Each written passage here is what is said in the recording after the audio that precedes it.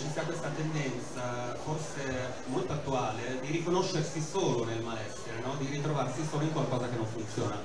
Quindi no, eh, la tendenza dell'individuo ad autocrearsi queste gabbie, queste somatizzazioni, queste nevrosi, il corpo sembra un terreno perfetto no? per seminare questo tipo di disagio e dare dei frutti che a volte sono così reali, più reali del reale, no? in verità poi appunto sono tutti parti della nostra mente e partono attraverso quella. Però eh, non so se a voi è mai capitato, ma nei momenti in cui tutto va bene, eh, io boh, saranno mesi che ogni giorno ho qualcosa, tipo l'altro giorno avevo una, un'ascella un po' gonfia, mi sentivo una ghiandola, appena mi è passata mi è venuta la tosse, quello anche perché fumo, però eh, appena mi è passata la tosse mi faceva male un orecchio eh, proprio perché ti riconosci, ti senti quando il corpo non funziona, hai la prova vivente che il tuo corpo c'è.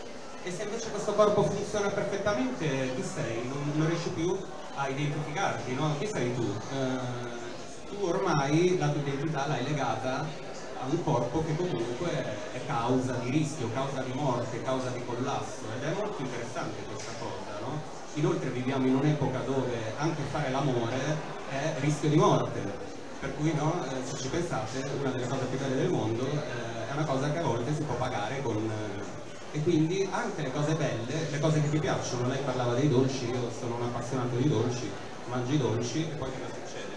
Il piacere di una sigaretta e però poi, ecco, quindi eh, la difficoltà a convivere pacificamente con un corpo che tutto sommato funziona e, e, non dà problemi. Ecco, io credo che tutti noi ci preoccuperemo seriamente nel momento in cui il nostro corpo funzionasse perfettamente senza nessun tipo di... ci siamo identificati insomma